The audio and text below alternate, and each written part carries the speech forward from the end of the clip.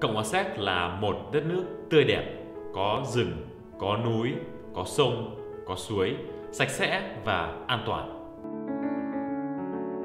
Xin chào các bạn, mình là Sa. À, ờ, trong những cái lớp học tiếng Séc của mình thì mình cũng bổ túc rất là nhiều điều về văn hóa, ờ, về ờ, phong tục tập quán của người Séc.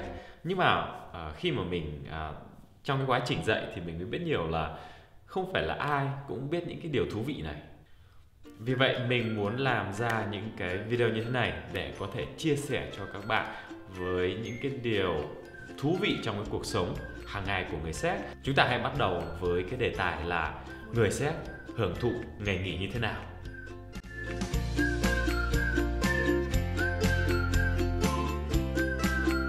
Chắc chắn là bạn sẽ đoán là người Séc khi mà có một cái ngày nghỉ nào đó thì họ sẽ uh, đi uống bia, đi đá bóng hoặc là nằm ở nhà chơi nhưng mà không phải đa số người Séc sẽ làm những cái hoạt động này. Họ sẽ làm những cái gì?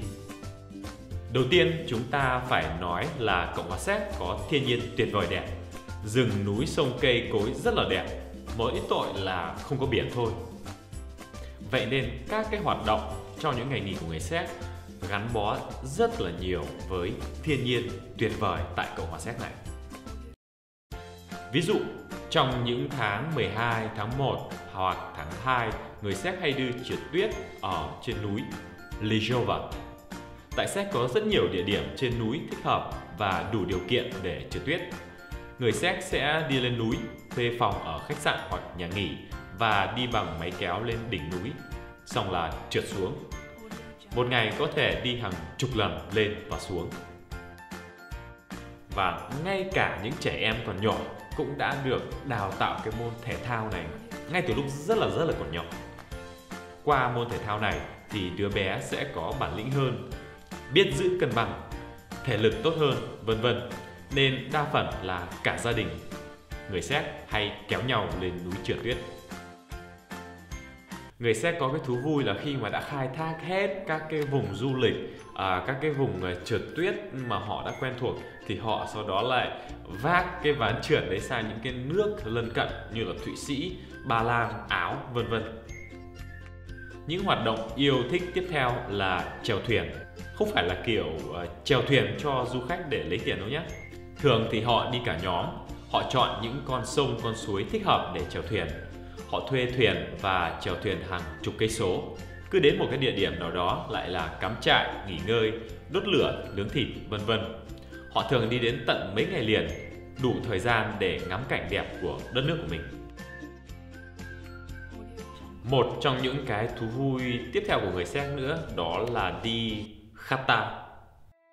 Cộng hòa Séc có thiên nhiên tuyệt vời nên người Séc rất thích đi gắn bó và hòa mình vào thiên nhiên. Khata là ngôi nhà vườn thường nằm ở vùng ngoại ô, gần rừng hoặc nơi nào đó có rất là nhiều cây cối, sông suối, vân vân.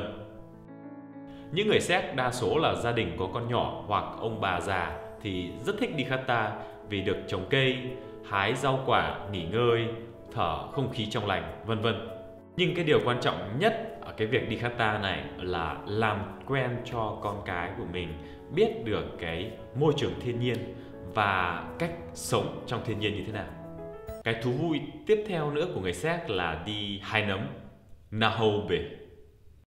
Cứ đến mùa thu, tức là không khí ẩm thì nấm mọc rất là nhiều nên là ai cũng mang giỏ đan vào rừng hái nấm vừa được đi dạo thoải mái, vừa được tìm những kho báu của rừng.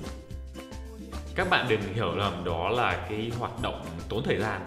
Thực ra là đi hái nấm cũng ra rất là rất là nhiều tiền.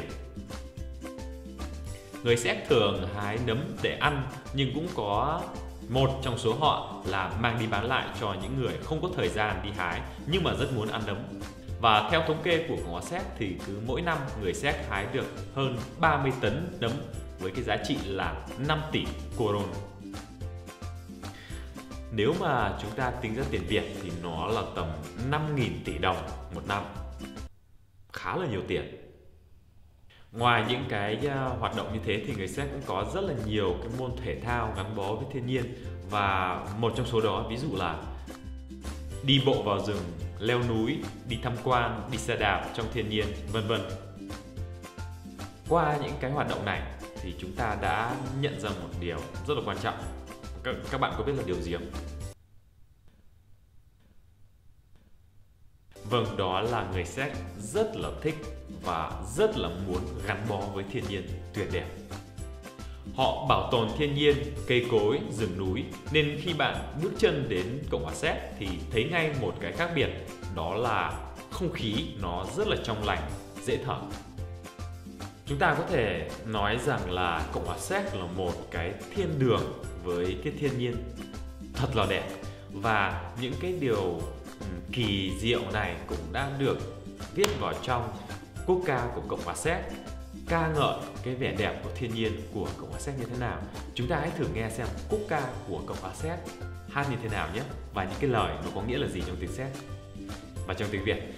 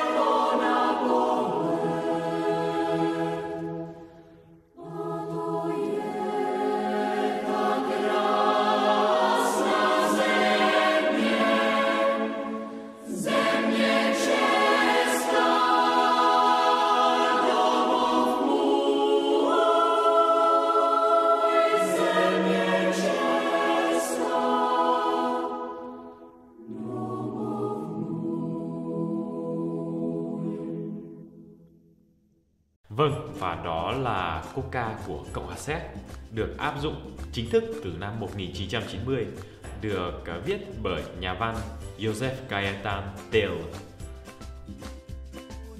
Mình rất là vui là các bạn đã theo dõi cái video đến tận thời điểm này và mình uh, rất là rất là mong là những cái video này sẽ uh, làm cho các bạn có hứng thú hơn với Cộng hòa Séc, cái cuộc sống ở đây và con người ở đây.